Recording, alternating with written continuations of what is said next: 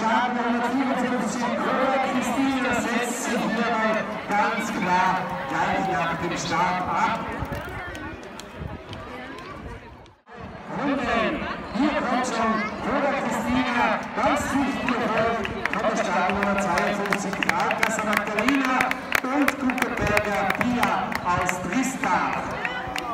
Eine Runde hat sie bereits absolviert, die Führung.